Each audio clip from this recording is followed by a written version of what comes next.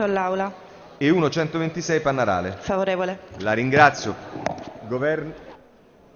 Un attimo.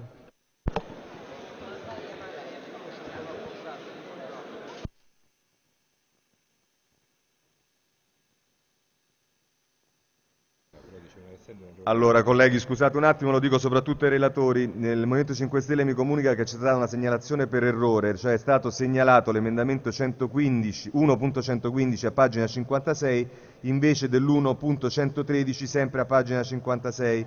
A questo punto, anche se normalmente non si fa, però invece accogliamo la richiesta del Movimento 5 Stelle e quindi chiedo ai relatori di esprimere il parere su- sul 1.113 a pagina 56 e considerare quindi non più segnalato l'1.115 ma l'1.113. Comincerei dal relatore eh, di maggioranza.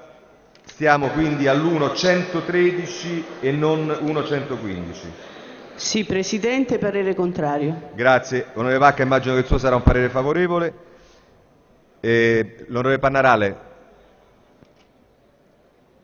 L'onorevole Pannarale, non le spiego, il il Movimento 5 Stelle, ha- non si preoccupi, il Movimento 5 Stelle ha sbagliato una segnalazione, Abbia- ha cambiato una segnalazione, invece dell'1.115 a pagina 56 segnala l'1.113 sempre di pagina 56. Favorevole.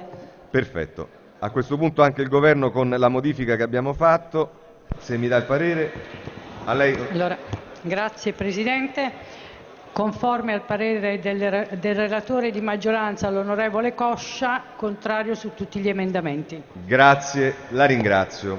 Allora colleghi, passerei al primo emendamento che è l'1.4 Marzana.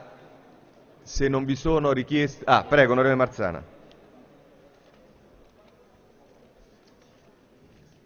Grazie Presidente. In questo emendamento parliamo del fondo d'istituto, delle, quindi delle istituzioni scolastiche. Ricordo che il fondo delle istituzioni scolastiche serve per l'acquisto di materiale, per la piccola manutenzione, per retribuire le attività aggiuntive. Parliamo